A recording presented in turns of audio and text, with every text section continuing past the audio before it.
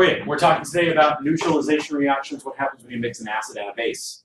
And uh, the, the general concept is captured by this little illustration. That uh, if you have an acid that has a low pH and a base that has a high pH, you mix them together and the pH is neutralized. They wind up somewhere near the middle. Um, when I took chemistry in college, uh, our professor did a demonstration that I'm not going to do for you because I don't want to drink salt water. Um, but he took hydrochloric acid and he had very carefully determined the molarity of the hydrochloric acid and he knew exactly how many moles of hydrogen and chlorine ions there were. And again, very carefully measured quantity of uh, sodium hydroxide. And uh, either of those, if you were to drink them, you would be dead. The hydrochloric acid would um, would corrode you, and you would die. These um, sodium hydroxide will dissolve your tissues, and you will die. Both of those would have been suicide beverages, but he mixed them together, and there was a lot of foam, and it was kind of cool to look at. And then when it was all done, we had salt water, and he drank it. Um, and and it was kind of weird to see him do that. We're like, oh wow, that's cool. Um, but he wound up with neutral water plus salt, so it just tasted bad, and he peed a lot when he was done. Um, but the uh, I'm not gonna drink salt water because that's gross. But uh, anyway, th that's the kind of stuff we're talking about here. Low pH plus high pH, they neutralize each other, and you wind up with a neutral solution. Okay, so that is the crux of what we're doing. I'll give you a moment to write this. Okay, so when you mix a strong acid and a strong base, they react and you get salt water. Not always sodium chloride, that's what you get in, the example I gave you from what my college prof did with the sodium, uh, the sodium coming from the sodium hydroxide and the chlorine coming from the hydrochloric acid. You don't always get sodium chloride salt water, but you get some kind of salt mixed with some kind of water. Um, the salt is formed by the cation of the base and the anion of the acid. So the cation of the base, the, the positive part of the base. So in that example, sodium hydroxide, the sodium is the positive part of that ionic solution, or that ionic, uh, yeah, solution. And the anion of the acid, hydrochloric acid, the chlorine is the negative part. And so the negative part of the acid gets together with the positive part of the base, and they form a salt. And so that is the salt part, and then the the hydroxide part of the base, the OH, gets together with the hydrogen part of the acid, HOH, and you have water. So you wind up having uh, something fairly harmless, salt water of some kind. Okay. Um, we usually have a metal in an acid. Acids usually have some kind of metal in them. I'm sorry, not true. The bases usually have some kind of metal in them. And the acids have some kind of non-metal hydrochloric acid, sulfuric acid, phosphonic acid, those sorts of things. It has some kind of anion that is a non-metal. And the bases usually have a metal as the cation. Okay? So the metal and the non-metal get together and form a salt. Water is formed by the reaction of the hydrogen from the acid and the hydroxide from the base. Okay? So I believe I show you a example of a reaction here. Yes, I do. Sodium hydroxide plus hydrochloric acid gives you salt water, salt and water. Okay, the reaction between the potassium hydroxide and sulfuric acid is the same thing. Potassium hydroxide, the potassium is going to form the uh, metal part of a salt, and then the sulfuric acid uh, is going to form this, the sulfur, the sulfate is going to form the negative part of a salt. And then here you have hydrogens and hydroxide. So you wind up, the hydrogens and the hydroxides get together to form water. And you wind up with potassium sulfate, which is a salt. Okay? So here again is salt water, not table salt and water, but another kind of salt and water. Um, another one, calcium hydroxide as the base, and nitric acid. So again, the nitrite is going to form um, sorry, the nitrate is going to be the negative part of a salt, and the calcium is going to be the positive part of a salt. And you, again, you have hydroxides and hydrogen. So hydroxides and hydrogen make water.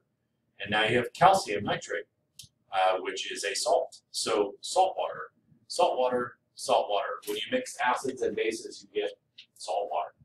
You got to make sure if you're going to try to get only salt water that you have a very carefully measured amount of acid and a very carefully measured amount of base so that they react completely and they go to completion and you don't have any base or acid left over. Would have been a real big bummer if my uh, chem prof from college had mismeasured the acid and the base, and he had still a bunch of base left over after the reaction, then it still would have dissolved his tissues, and he still would have been not in a good place. So if you're going to do these kinds of reactions, um, you need to make sure that you're putting the same number of moles of acid and the same number of moles of base together to react fully. Uh, but acids and bases always make salt water. Okay? Um, titration. I'll give you a moment to write this down.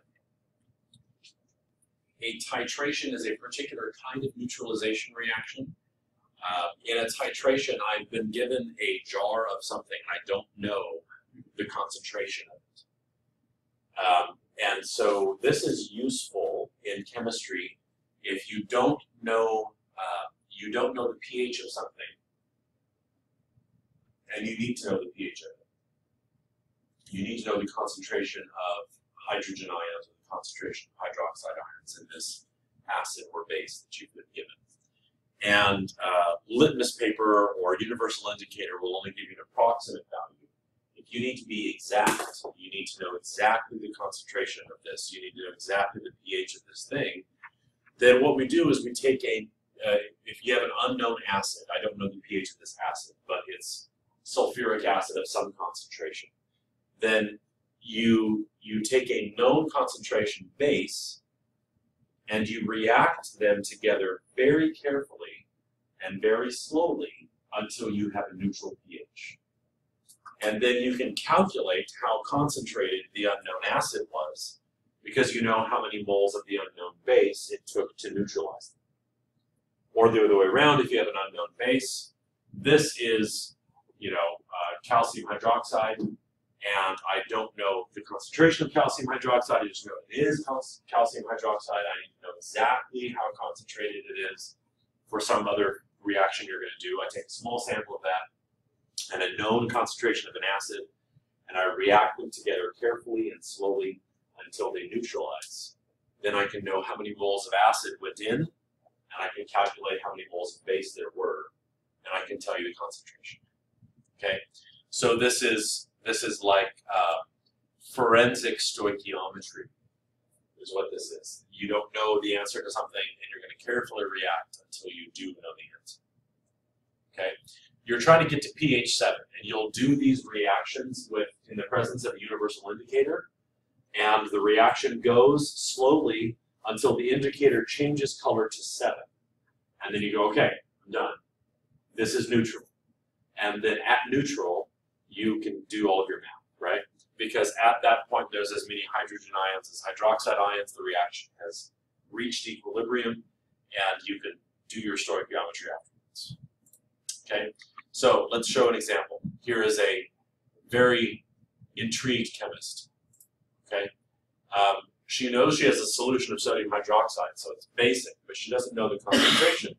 And she needs to know the pH exactly because there's going to be some kind of reaction she has to do, and she's got to know the pH of this, this chemical. So she takes a sample of it, and we're going to do some titration, okay?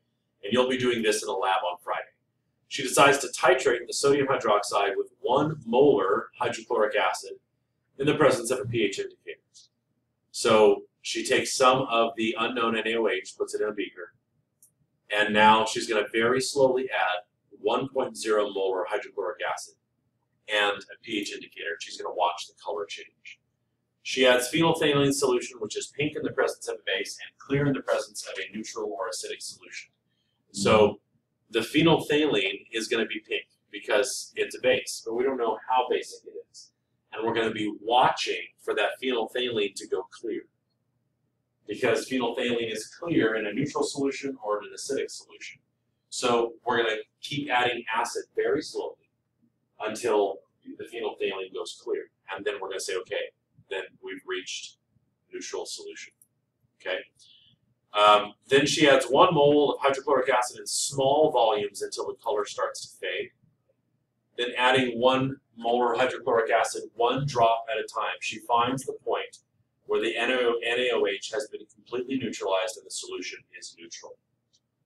Okay, and so now here's a picture of a titration. We in our school sadly don't yet have these uh, burettes and uh, and little tiny uh, droppers.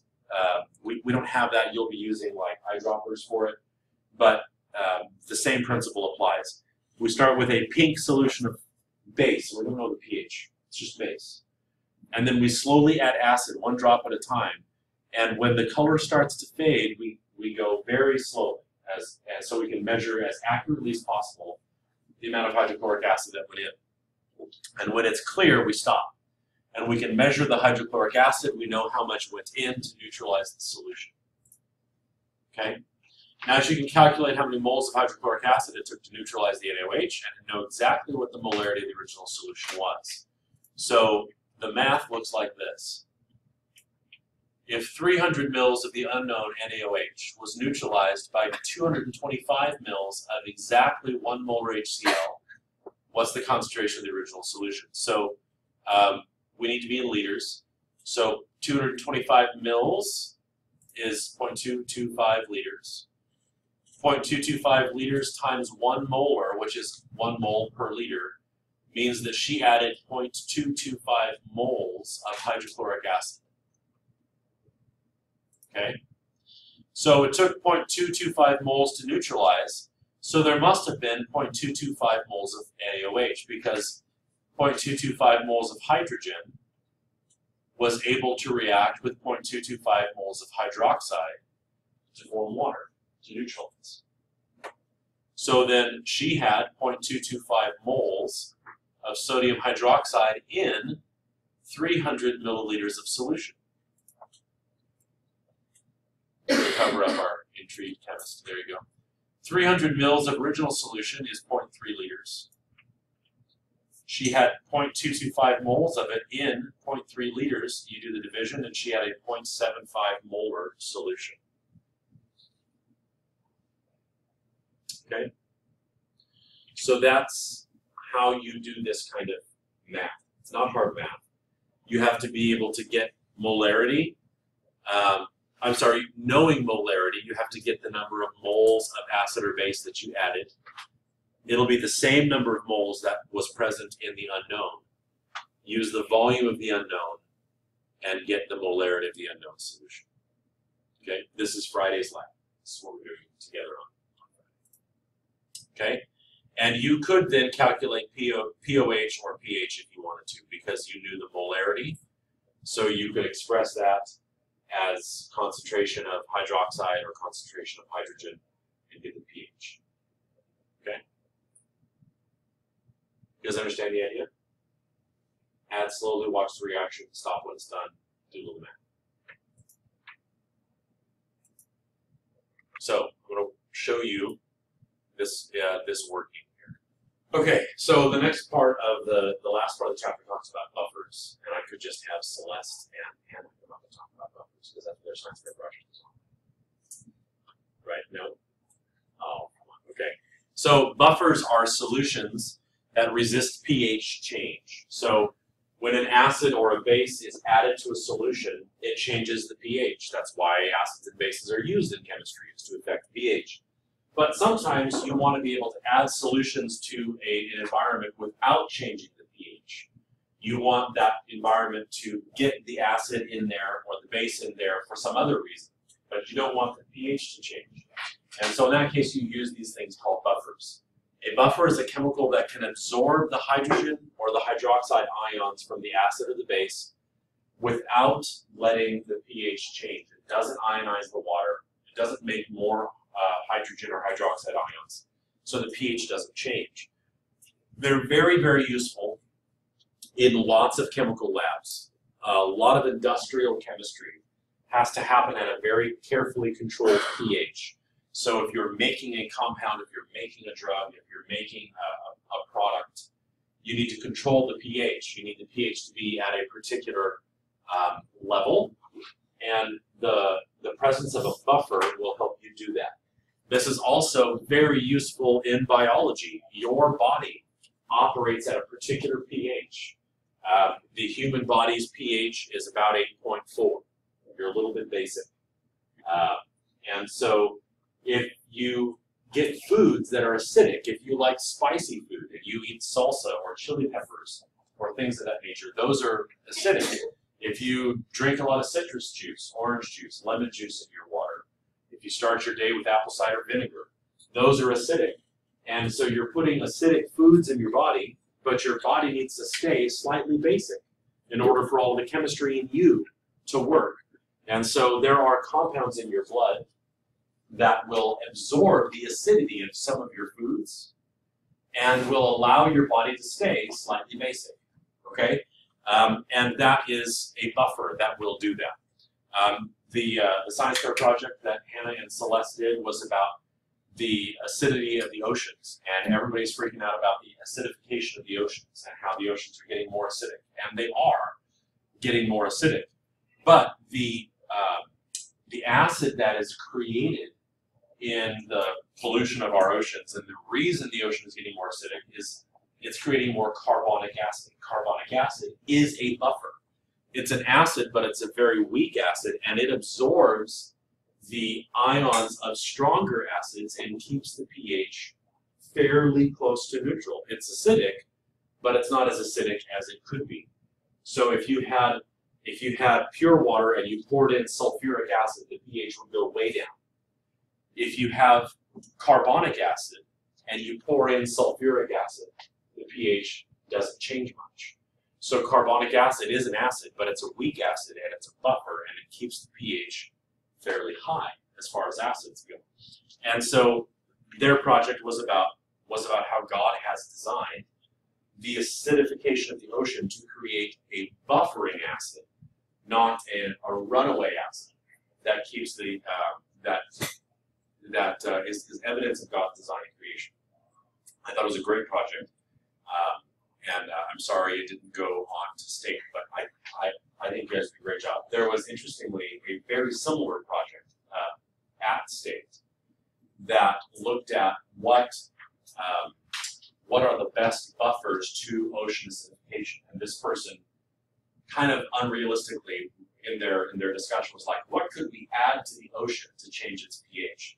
Like we're going to drive around in huge boats, and, or I don't, I don't know how you add to the ocean. It's a lot of water out there, but they're in their little experiment. They found that the very best thing you could add to ocean water to control the pH and to buffer the ocean acidification was calcium carbonate, which is what then would go into the water and make carbonic acid, which would buffer the solution.